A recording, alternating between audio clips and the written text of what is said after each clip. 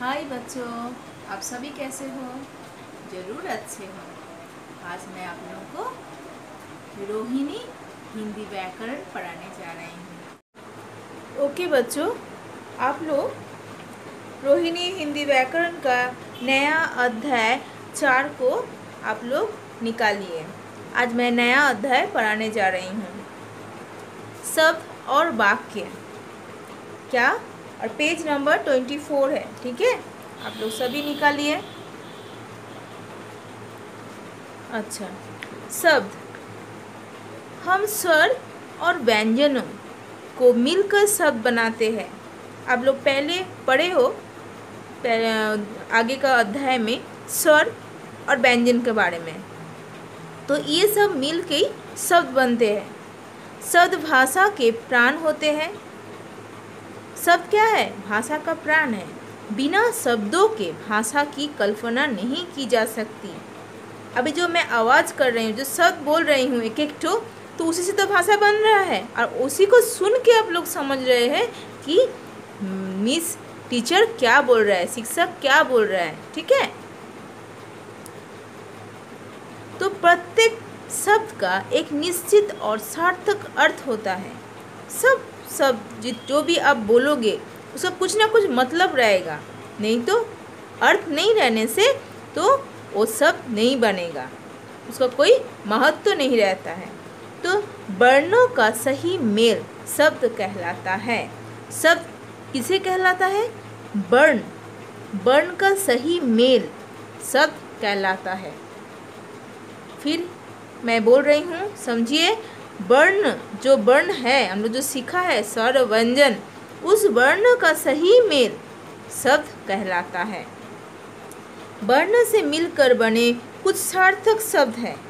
देखिए, धन, ध प्लस न धन, ध और न नो, न इकट्ठा होके क्या बन रहा है? धन। क, प्लस ल प्लस म कलम। मैं, हम लोग उच्चारित करते हैं कि कलम। तो उच्चारित को देखिए, कैसे कर रहे हैं हम लोग? कलम कलम। तो क ल म तीनों कौन सा किसको यूज़ कर रहे हैं हम लोग? व्यंजनों को मिलके हम लोग बोले हैं कलम। सेब। ये सेब जब बोल रहे हैं, अच्छे से सुनिए। सेब। से ए। देखिए, इसमें ए का मात्रा लग रहा है। एक ही तो वो कौन है? स्वर है। स, ए प्लस व, सेव। वो लोग समझ रहे होंगे? बंदर। ब, अंक की मात्रा है। देखिए। प्लस द, प्लस र। मतलब इसमें स्वर है। और व्यंजन तो है ही।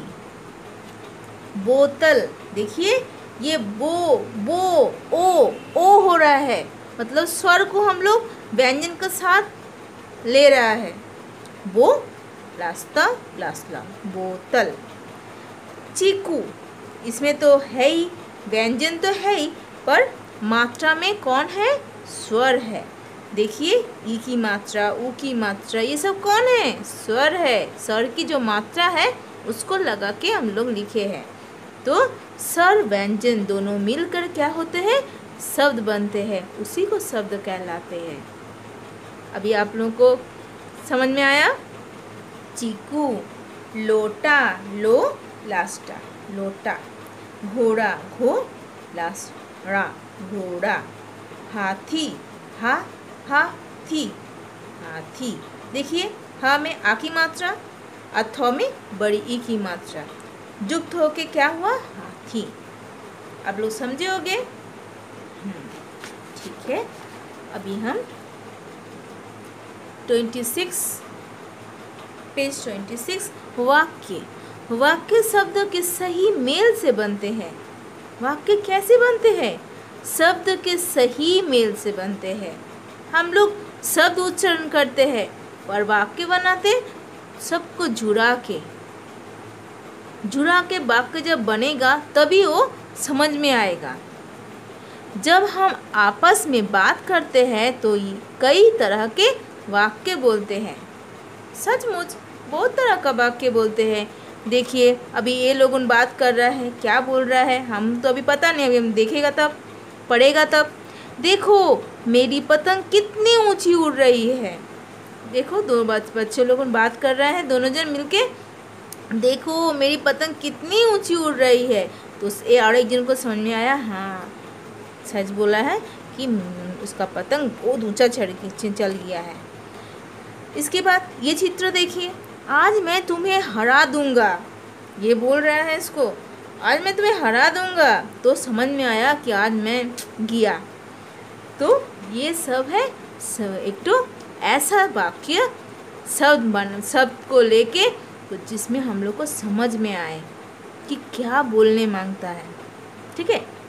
इस प्रकार हम कह सकते हैं कि वर्ण के सही मेल से, वर्ण के सही मेल से शब्द और शब्द के सही मेल से वाक्य बनते हैं।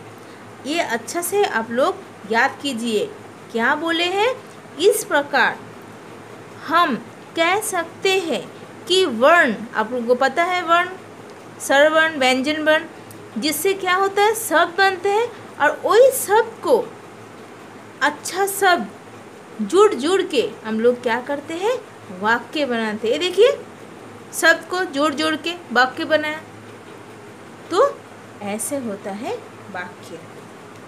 तो बच, बच्चों, आप लोग समझे होंगे कि इस अध्याय में शब्द और वाक्य वाक्य जो है, कैसे बताया गया है। मैं चाहती हूँ आप लोग घर में इसको अच्छा से इसको पढ़िए और इसको अच्छे से समझिए। ठीक है बच्चों?